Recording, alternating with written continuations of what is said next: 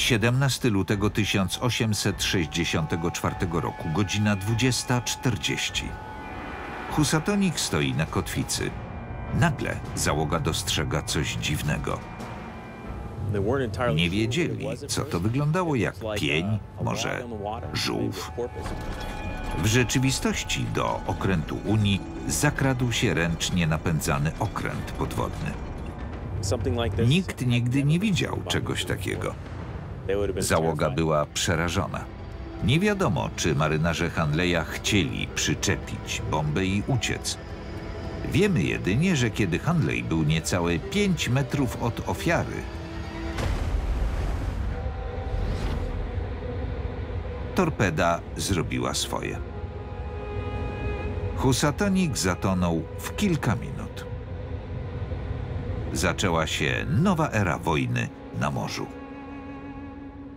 Hanley to pierwszy okręt podwodny, który zatopił wrogą jednostkę w walce.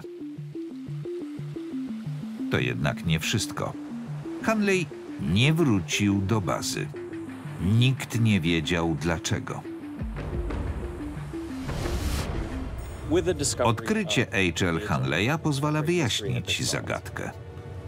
Możemy w końcu zbadać okręt z archeologicznego punktu widzenia. Najprostsze wytłumaczenie? Hanleya zniszczyła jego własna bomba.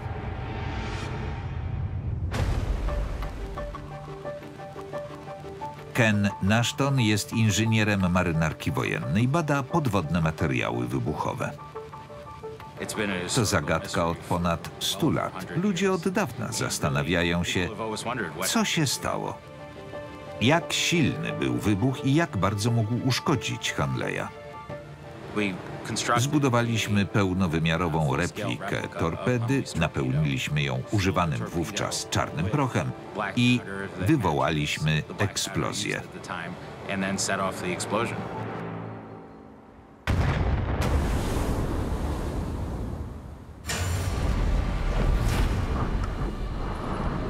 60 kilogramami prochu torpeda jest potężna, ale wyniki są zaskakujące. Wybuch utworzył falę uderzeniową w formie pęcherza, który rozszerzał się i kurczył. Kiedy zapada się dno pęcherza, powstaje silny strumień, który tworzy wodną kolumnę. Mogła ona wybić dziurę w kadłubie Husatomika, nie szkodząc Hanleyowi. Zakładamy, że Hanleyem mocno zakołysało, ale jego konstrukcja pozostała nienaruszona. Są też inne dowody, że Hanley przetrwał wybuch. Ciała ośmiu członków załogi znalezione we wraku były w idealnym stanie. Zanim je pogrzebano, poddano je dokładnym badaniom.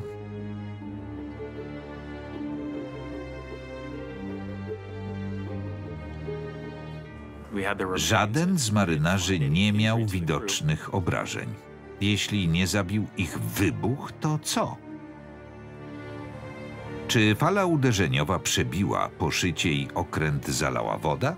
Dowody świadczą, że nie. Nie ma śladów paniki. Wszyscy są na swoich miejscach. Nikt nie uciekał. Gdyby tonęli, byłoby inaczej.